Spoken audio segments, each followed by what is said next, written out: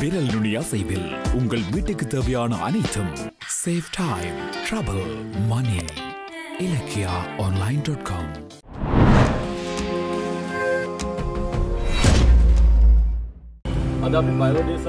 நாட்டில் ஏற்பட்டுள்ள பொருளாதார நெருக்கடிக்கு மத்தியிலும் மனித மூளை மிக வேகமாக செயற்பட்டு வருகிறது. பல்வேறு இடங்களில் இவ்வாறான சம்பவங்களை பார்க்கக்கூடியதாக இருக்கிறது. புதிய கண்டுபிடிப்புகள் புதிய உற்பத்திகள் மாற்று கண்டுபிடிப்புகள் என நாட்டின் மறுபக்கத்தில் மனித வளர்ச்சி மற்றும் தொழில்நுட்ப வளர்ச்சிகள் அதிகரித்துக் கொண்டே செல்கின்றது. களத்துறை பாடந்துறையைச் சேர்ந்த இருபத்தி மூன்று வயதுடைய இளைஞன் தான் தில்லின தக்ஷில. இந்த இருபத்தி மூன்று வயதுடைய இளைஞன் வாகனத்துக்கு பயன்படுத்தக்கூடிய வகையில் புதிய எரிபொருள் ஒன்றை கண்டுபிடித்திருக்கிறார். மாற்று எரிபொருளாக பயோடீசலை உருவாக்கி அனைவரையும் கவனத்தை ஈர்த்திருக்கிறார்.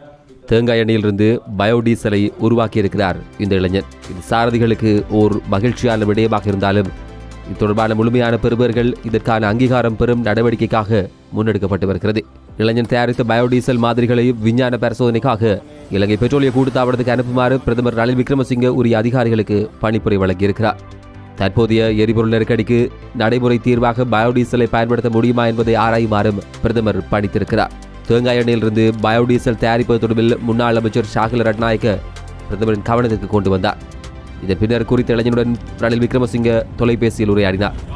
பரிசோதனைகளுக்கு உட்படுத்த உதவுமாறு மின்சக்தி மற்றும் எரிசக்தி அமைச்சர் கஞ்சன விஜயசேகரவிடம் கேட்டுக்கொண்டார் தனது தயாரிப்பு உலக தரத்துக்கு ஏற்ப இயங்குவதை தனது தனிப்பட்ட சோதனைகள் மூலம் உறுதி செய்திருக்கிறான் தக்ஷில பயோடீசல் சராசரியாக பத்து கிலோமீட்டர் வரை செல்லக்கூடிய வகையில் அமைந்திருப்பதாகவும் கூறியிருக்கிறார் பயோடீசலை பயன்படுத்தும் போது வாகனத்திலிருந்து வெளிவரும் கார்பன் மொனோக்சைடு ஒப்பீட்டளவில் குறைவாகவும் இருக்கிறது பயோடீசல் பயன்பாடு பொருளாதார ரீதியாகவும் சுற்றுச்சூழலுக்கு உகந்ததாகவும் அமைந்திருக்கிறது என திலின குறிப்பிடுகிறார் திலினவின் கண்டுபிடிப்புக்கு வாழ்த்து தெரிவித்துள்ள பிரதமர் ஆய்வக அறிக்கை கிடைத்தவுடன் தேவையான நடவடிக்கைகளை எடுப்பதாக உறுதியளித்திருக்கிறார் இந்த ஆய்வக சோதனை மிகவும் சிக்கலானது கணிசமான நேரம் இதற்காக எடுக்கும் என்றும் சொல்லப்பட்டிருக்கிறது குறித்த கண்டுபிடிப்பானது வெற்றியளிக்கும் பட்சத்தில் எரிபொருளுக்கான தட்டுப்பாட்டை ஓரளவு குறைத்து சந்தையில் இதற்கான மாற்றீடான எரிபொருளாக மாற்றமடையக்கூடிய வாய்ப்புகள் நிறையவே இருக்கிறது දැන් ඔයාලට පේනවා ඇති තිබ්බ ඩීසල් පෝලිමේ දිග හැබැයි අපි ලංකාවේ බයෝඩීසල් නිෂ්පාදනය කරලා ඕන 2 මිලියන් මෙට්‍රික් ටෝන් කන්සප්ෂන් එකෙන් 1 මිලියන් මෙට්‍රික් ටෝන් කන්සප්ෂන් එකක් අපි ලංකාවේ ප්‍රඩියස් කරගත්තොත් මේ තියෙන පෝලෙන් ටික මාස 3ක් ඇතුළත ජීවිතේටම තායි පෝලිං නැති වෙන තත්ත්වයකට ගේන්න පුළුවන් කියන එක 100%ක් වගකීමක් ඇතුව මම කියන්න කැමති පාදනය කරපු බයෝඩීසල් B100 වලින් ආ, වාහනයක් අධිවේගී මාර්ගයක ධාවනය කරලා බලන්න යන්නේ. කොහොමද? ආ, අපි දැන් බලමු අපේ වාහනේ කොහොමද පර්ෆෝම් කරන්න කියලා.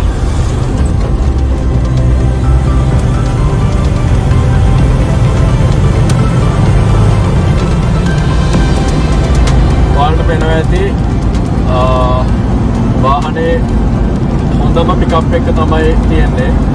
දැන් මෙතන මීට එක ගත්තොත් එහෙම පැයට කිලෝමීටර් 100ට අපි ආ, දැන්ට යනවා.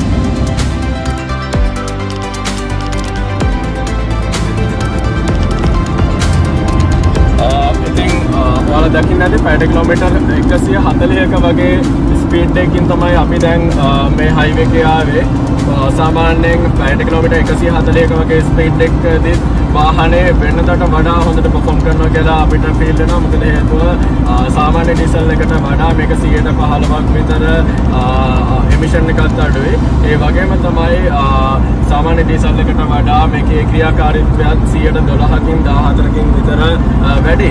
ඉතින් මම ආ, යෝජනා කරනවා ගවර්මන්ට් එකට අපි ඔක්කොම එකතු වෙලා මේ බයෝඩීසල් ලංකාවේ ප්‍රචලිත කරමු.